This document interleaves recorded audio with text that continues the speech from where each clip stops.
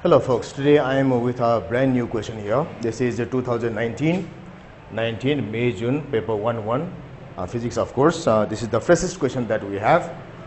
And the uh, question is uh, this question is question number 7 here. I forgot to write the number but uh, I can remember it. So it says that it's about a projectile. It says a stone is thrown horizontally from the top of a cliff.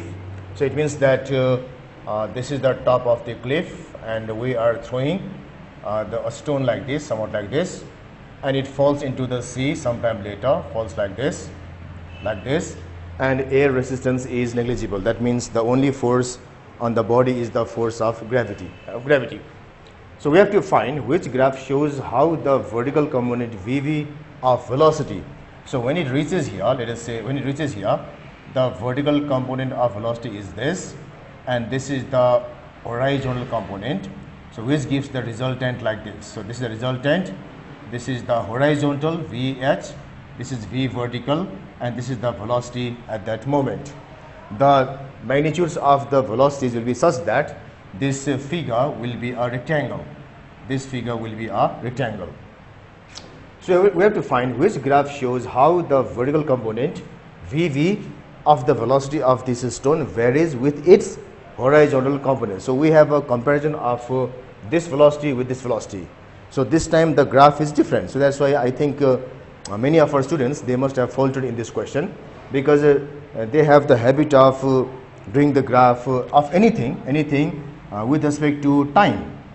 So our kinematics graphs are mainly concerned with time. So when they find a vel- velocity against velocity, many of them would have been confused.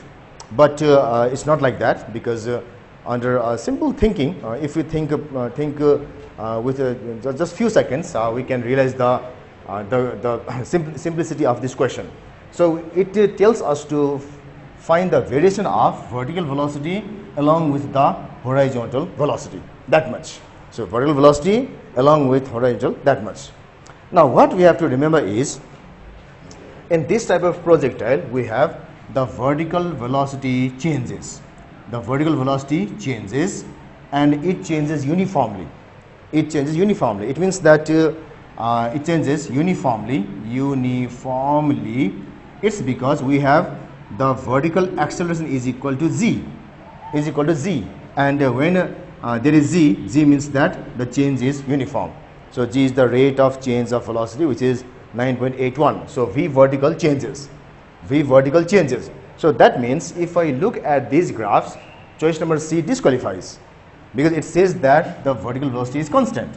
So this thing disqualifies from the very beginning.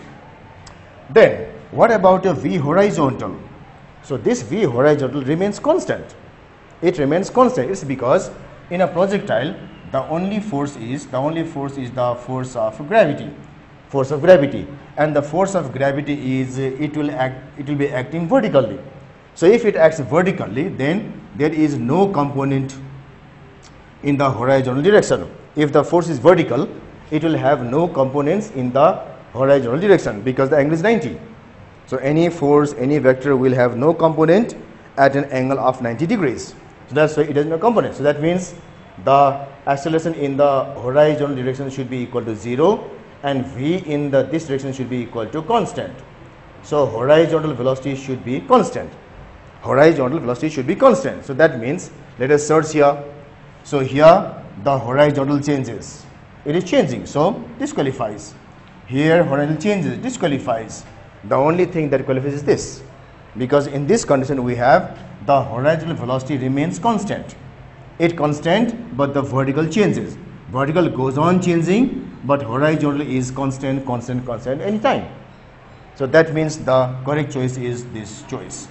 So it means the horizontal velocity changes, sorry, it remains constant, but the vertical changes, it goes on changing, whether up change or uh, uh, positive change or negative change, increase, decrease, no concern. The only thing is that the horizontal velocity remains constant. So choice number D should be the correct choice.